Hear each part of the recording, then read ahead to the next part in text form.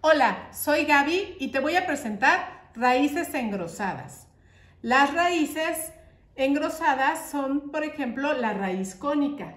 Cuando una raíz es alargada y que se ancha junto al tallo, haciéndose angosta hacia la parte de abajo, recibe el nombre de raíz cónica, es decir, tiene forma de cono. Un ejemplo es la zanahoria.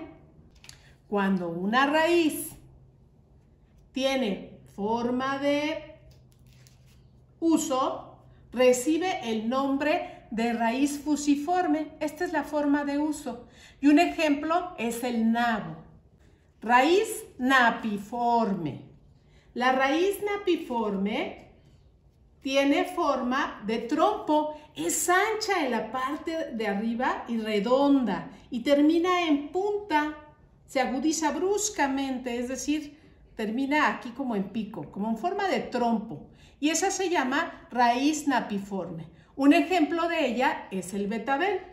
Y por último, la raíz tuberosa es aquella que está engrosada porque contiene reservas alimenticias y tiene forma de tubérculo.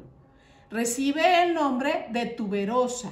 Y un ejemplo es la dalia, la papa. Ahora puedes trabajar. Nos vemos.